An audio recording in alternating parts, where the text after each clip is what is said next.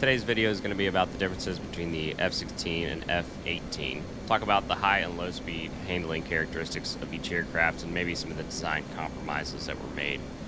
Right now I'm in the F-18 and this aircraft, both of these aircraft were designed to be a lightweight fighter, but the F-18 uh, needed some, I guess, additional low speed handling qualities uh, to be a Navy aircraft. It also needed two engines. Uh, so look outside of the aircraft. I'm going to slow it down and get the flaps out and everything. From the front, we've got these leading edge flaps, full length of the wing, just like the F-16. The trailing edge flaps, I want you to notice that these are actually two-part flaps. So if you can see the little gap in between there, there's actually two pieces to the flap. Uh, that makes it essentially larger and able to create more lift. It's also an added complexity and adds a little bit of weight. Um, but having the ability to generate more lift uh, is is important, and the flight control system of the F-18 takes full advantage of that. All right, behind that we've got our rudders, and with the flaps down, you can see that the rudders actually kind of lean inboard a little bit, and this is to create some more drag in the back and actually increase the low speed handling. We've also got two horizontal stabilators here in the back of the F-18, same as the F-16. Going back inside the aircraft, uh, we'll actually we'll do one maneuver here that's kind of like my my favorite thing in the Hornet. This really just demonstrates the differences between the two. So you may have heard of the Hornet's uh, low-speed pirouette qualities. This aircraft actually has full rudder authority at very high angles of attack, unlike the F-16. And what that means for you in a dogfight is that when you happen to get slow with another aircraft, uh, say you're dogfighting the F-16, he might run out of airspeed, and the nose in that case is just going to be frozen straight in place until he drops his angle of attack. On the Hornet, though, uh, you can actually execute pretty much full turn. So I'm going to do full afterburner and just kind of see it down here around 180 knots. Let's look outside. If I boot the rudder one way or the other, it's going to work, no problem. See that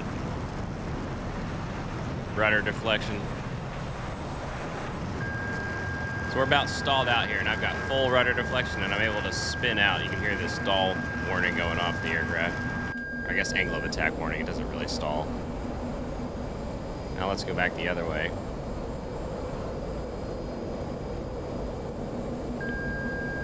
Yeah, no, no problems getting a nice spin going here at low speed. And the rudder will give you a full deflection. We'll compare that to uh, the Viper here in just a second.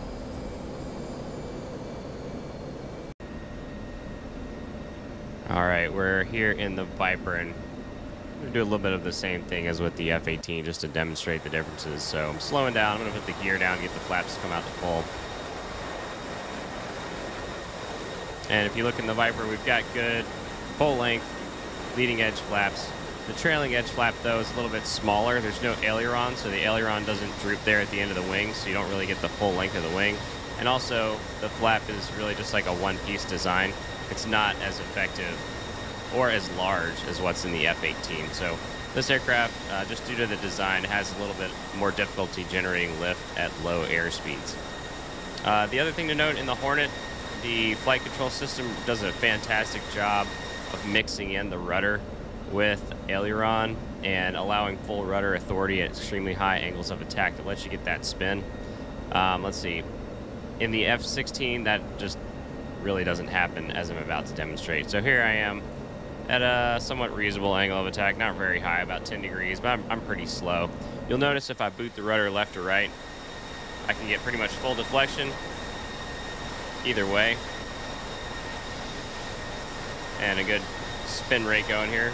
Now, if I do what I was doing there in the F-18, which is max out the angle of attack, there's actually a rudder limiter on the F-16 to prevent it from departing controlled flight.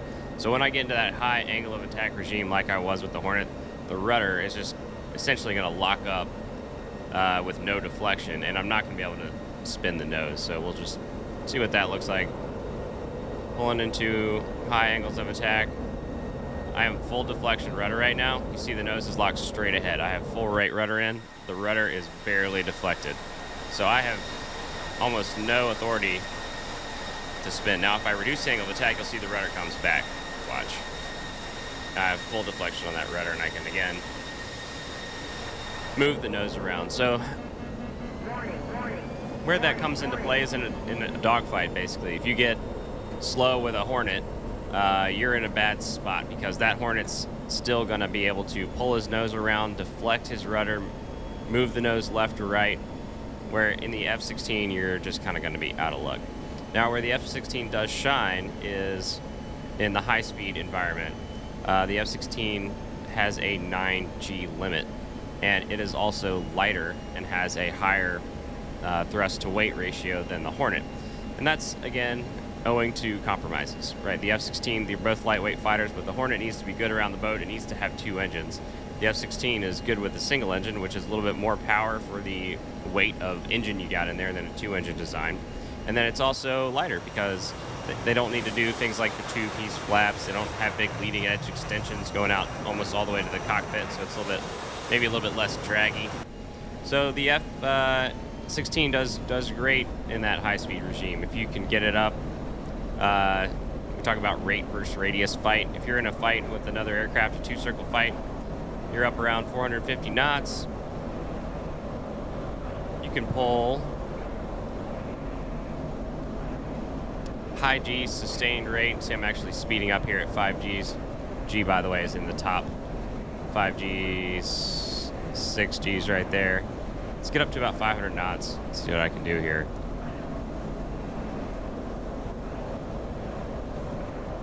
Yeah, so I'm sustaining 7.2, 7.3 Gs here easily. I believe the advantage is, is somewhere in the neighborhood of 2 degrees per second in a high-speed rate fight versus the F-18. So I can easily carry 500 some knots eight and a half G's there. Whereas the Hornet is going to be on the G limiter at about 420 knots. Let's take a look at the Hornet. All right, back in the Hornet. Got just an air-to-air -air loadout, no bags, and roughly 80% internal fuel. The G limiter is at 6.4 Gs right now. So if I'm at 490 some knots and I try to Oh, here. I'm just to hit the limiter. Right now I'm on the G limiter. It sticks back all the way. So in the Viper at this speed, I'm pretty much max performing. I'm getting about all I can in terms of turn rate out of the aircraft. Where in the, the Hornet, I'm actually being limited here. Now if I slow down, I'm going to get some of that back.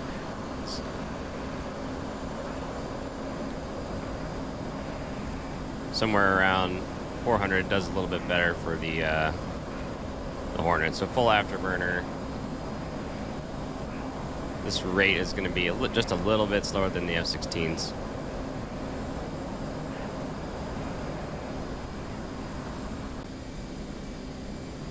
All right, here comes an F-16. See what we can do.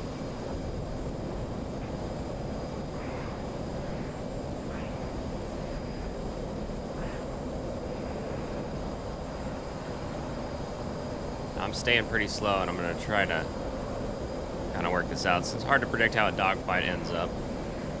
This is just the DCS AI F-16.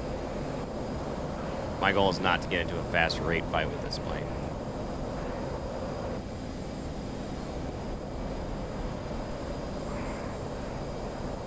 Alright, we're both a little bit slow. Here he goes behind me, and I'm just going to demonstrate the pirouette right here, just to spin around and point right at him So full rudder.